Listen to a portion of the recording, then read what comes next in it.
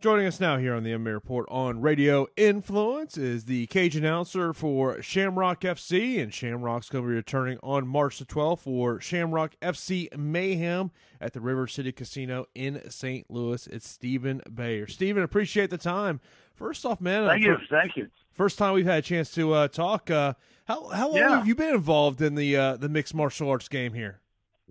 Well, I tell you what, uh, I've been involved in uh, mixed martial arts before it was even called mixed martial arts, and uh, that was uh, back in the back in the late uh, 1980s and early 1990s. And uh, yeah, I've been around the fight business now for over 25 years.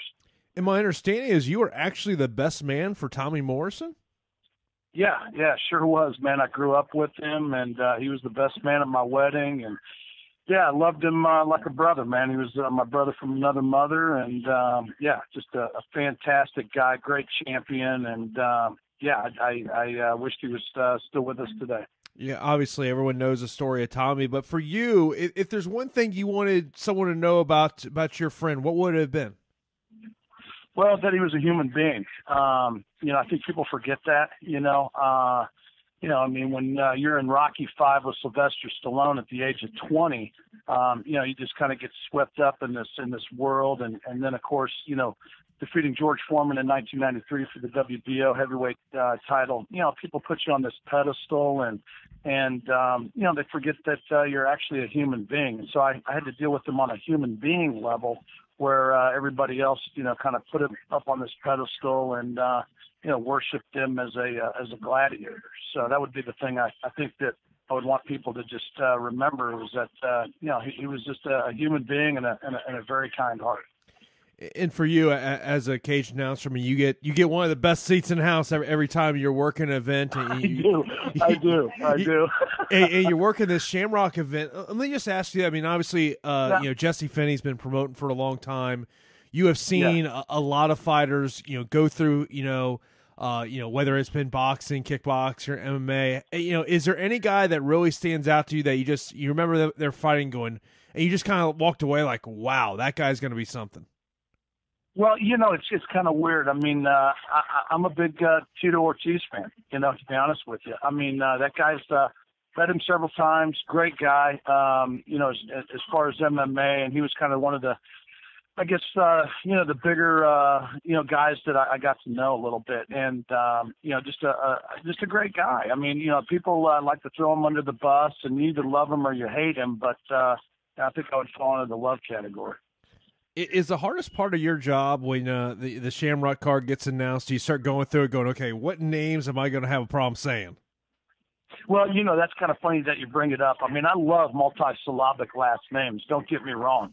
Uh, but, uh, we, uh, yeah, every once in a while we'll have that name that comes across the radar and, uh, you know, they're, they're from Czechoslovakia or, or, or, or, or one of these, uh, places where, um, yeah, it, it actually makes no sense whatsoever. And then, uh, I'll have to stay up all night and practice that name so I don't get it wrong in the ring. Yeah, I've I've done that as a reporter where you're sitting there and you know you got that interview coming up and you're like, man, how you know how do you say this last name? I'll never forget how long it took me to uh, pronounce a Khabib Nurmagomedov. Took me a while, but but once you once you get down, it's like it's just like right off the tongue. Like one of the shows I do, me and my co-host, we just kind of joke when when you have that name, you just spit it out like you know what it is, so people don't think you're struggling with it. I know, isn't that funny? Yeah, no, it's uh, yeah, and and it's almost uh, like a sobriety test, isn't it? Oh yeah. So sometimes you look at these names. I, I remember back uh, in the old regime at Bellator, their their PR guy. Every time they would sign a Russian, I call him up and go, "How do you pronounce this guy's name?" Yeah. And usually it, yeah, it, it would take I mean, me a while. It's almost like you know, um, yeah, I mean, some of these names, you know, you look at it and you're just like going, you know, oh my gosh, man. I mean, uh, where where do you even begin? You know, you start flipping the piece of paper around to see if it actually makes sense. And Let me ask you this: as the guy in the cage now, so when we're sitting there watching, you know, whether it's Shamrock and our promotion, we see you holding that card. How much information right. do you got written on your card? Well, I mean, uh, you know, uh, enough to announce the uh, the individual. Uh, you know, obviously weight uh, is on there, height's on there. Um, you know what city they're from, um, you know where they're training out of, uh, and uh, and of course their name, which is the most important. And you know, and I I, uh, I really love my job. Uh, I always have um, because it gives me the opportunity to talk to the crowd, talk to the audience out there, whether it be on TV or whether you know it, it be in the uh, crowd right in front of me, and uh, and announce their name, and that's who they are. You know, they work so hard and they train so hard, so long, you know, for them to get into that uh, you know cage you know, to do battle. And, uh, you know, the least I could do is to, uh, you know, announce their name correctly and announce it with uh, enthusiasm. And, um, and then that's what I do. Is the biggest misconception about your job is that people just think you show up literally uh, 20 minutes before the event sh- starts and they just hand you a card?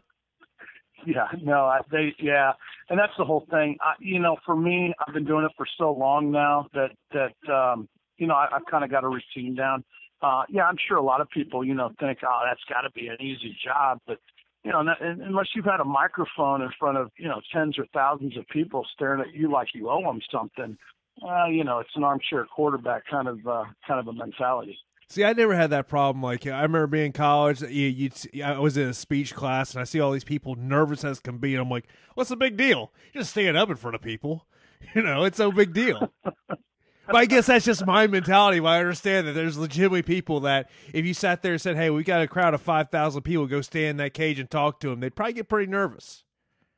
Well, yeah, they probably would. I, you, for me, um, I, I, almost feel like I'm just one of the people out in the crowd, man. I'm such a big fan of the sport, um, and and I always step into the cage, uh, you know, with enthusiasm and uh, and energy, and basically, I'm just saying what all the people out there are thinking, and uh, hopefully saying it in a way and projecting uh, um, in a way that uh, yeah that, that that is received uh, the way it was sent. What upcoming fights? I mean, not just with Shamrock, just in MMA, are you, that got you interested? To say, you know what? No matter what, I'm getting in front of the television to watch that fight.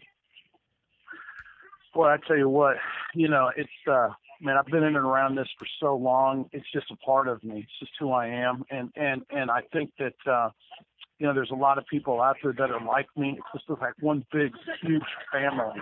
And, you know, you run into the same people, um, you know, in, in different spots in the country and the world, um, just because it's just kind of in our, in our makeup. And I, uh, I've always been a lover, not a fighter, but I've always had an appreciation for those guys that, uh, do the training and do the hard work and you know it was my way of being you know i guess a, a part of that was just that uh, i was a communications major and decided to, to, to make this a career yeah, just like yourself, I was communication major a- as well. When you look at this fight card coming up here, Shamrock FC Mayhem, uh, Kevin Engel and Kyle Kurtz, the main event uh, should be. So, oh my gosh, I know. Keep rolling those names because I mean, this is going to be the biggest and the best show that Shamrock has ever done, guaranteed. I mean, hands down.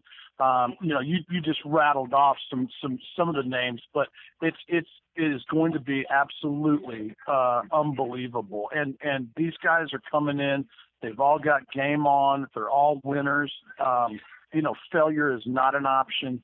Um, this is going to give the fight fans the most bang for the buck um, that we that we've ever done, and we've done great shows. I mean, that's that's actually saying something because you know we've we've had great shows now for many years, and and this is kind of the combination of all of those shows coming together, uh, where you know all of the stars are going to be aligned on March 12th at River River City Casino. I mean, we mentioned the main event, but it, you know, and you know that St. Louis MMA scene. Is there somebody on this card that you know maybe their name's not stuck out to people right now, but you, you look at that guy just based on some things you have seen uh, inside the Shamrock cage, you're like, man, you got you need to be watching out for this guy.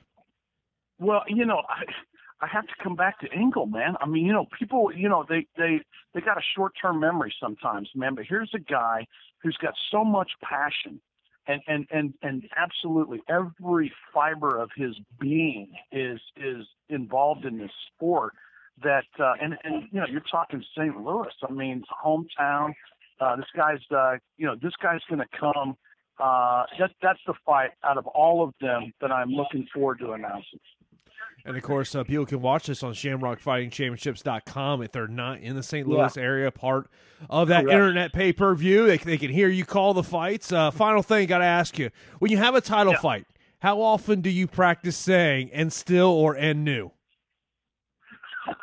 well, I tell you what, that's the that's the best word in the English language. You know, I mean, I mean, new. You know, because that that means somebody has climbed the ladder and now they're going to the other side. Now now all of a sudden they've got themselves a belt, and I I almost get giddy when when I'm handed that uh, you know paper from the athletic commission um, telling me you know what the uh, what what the deal is, and and when I see new, man, I it just sends shivers up my spine. And as I mentioned, people can watch this card on ShamrockFightingChampionships.com if they're not in the St. Louis area. Of course, this will be taking place at the River City Casino in St. Louis. Stephen, I really do appreciate time, and uh, we'll have to get you back on the show no, uh, down the road, you. man. Absolutely, my friend. I appreciate the uh, appreciate the time and appreciate you.